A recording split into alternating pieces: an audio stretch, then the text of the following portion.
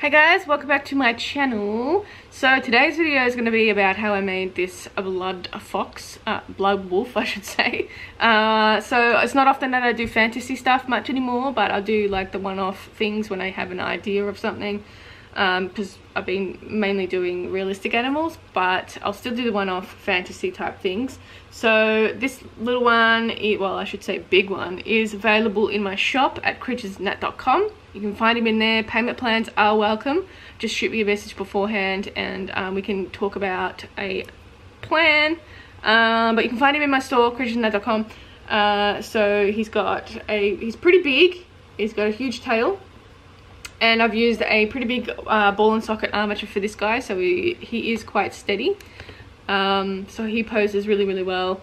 And you can have them in, in so many different positions and looks. Um, so he's got teal, teal eyes. Don't know if you can see that. Yep. So you got teal eyes. So I thought that would stand out nicely against the nice red stark um, uh, face. Uh, so yeah. So he's big boy. He's available, like I said. And if you want to see how I made him, then keep watching. Alrighty, so I'm starting off with a resin cast of a sculpture that I did out of monster clay, cut, wrapped, molded in silicone and then cast in resin. So you can see I have cast some glass eyes inside of this head. I have a tutorial available in my shop if you want to know the process of how I cast these eyes inside resin um, without drilling anything or um, sculpting anything else.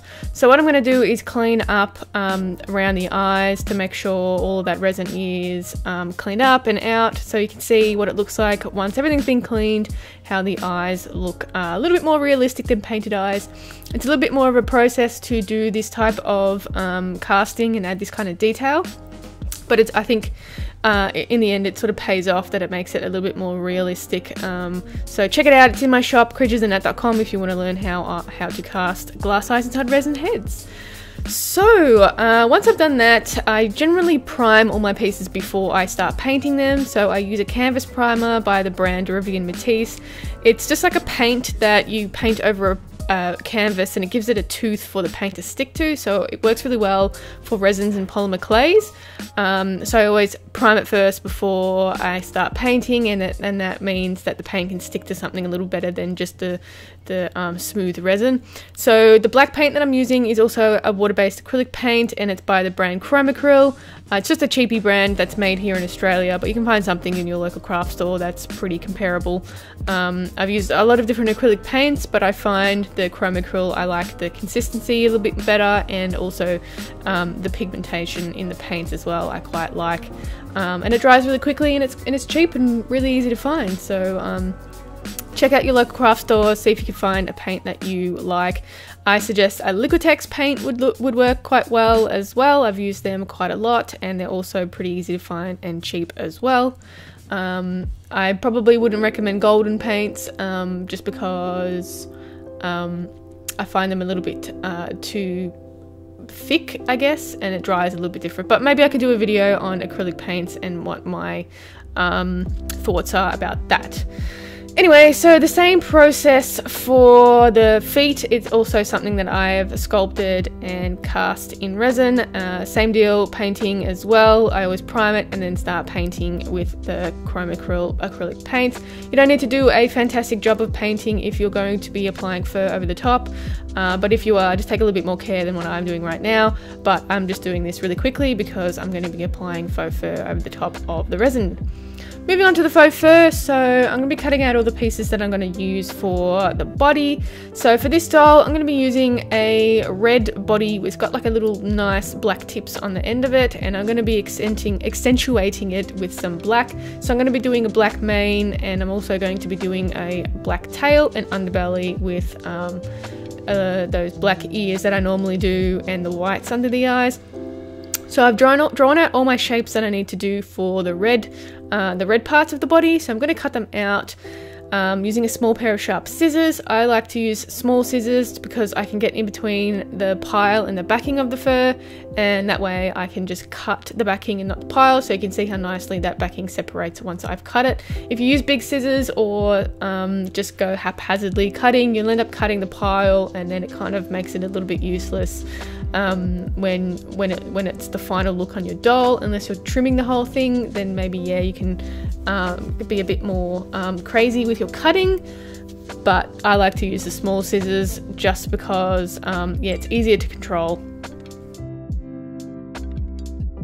So moving on to the dark fur or the black fur. So I'm just going to be uh, doing the underbelly for this one. So I'm just marking out where I want to cut just the underbelly. You also got to uh, keep in mind your seam allowance when you're attaching a different color to another color, uh, just to give it a little bit of a seam allowance. So I usually do that around the leg area. So I usually give about a centimeter of a seam allowance on both sides, and that way um, I can get a good solid seam line and attachment to the each fur.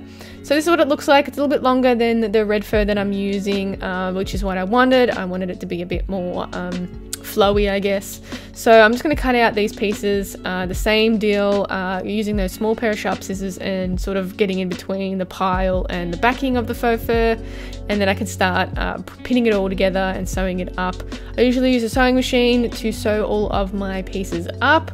So basically I'm going to pin it all together, the bits that I need to do and uh, once that's done I can start sewing it. I've got a new sewing machine, it's a Juki uh, it's pretty heavy duty, and um, it's, it's, I have to sort of work out how to use it properly because it's a little bit different than just the standard old-fashioned manual one that I had before.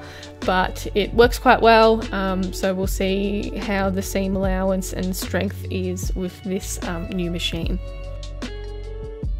So this is what it looks like once I've sewn it all up. You can see I've left the back end open as well of the leg areas. That's so I can flip the fur the right way around. I've also left the neck area open so I have something to attach the, the head to uh, and then sort of blend it in together and make it look like one nice piece. So what I'm going to do now is just go around the seam line and just cut some little um, uh, little lines in it and that means you can it, it means you can move and give the body a bit more flexibility. So I have a little video on my Patreon about that. If you want to go into a little bit more detail as to why I do that, uh, you can have it head over there and find it on my Patreon right now. So this is what it looks like once it's been flipped the right way around. You can see it's starting to take shape. It will need a little bit of trimming because it's going to be a bit too fluffy for my liking. Um, so when you trim things, uh, the body starts to take shape and it starts to look like what you're making. For the armature, I'm using a ball and socket armature, which is in my store if you want to have a look and um, see uh, what I use.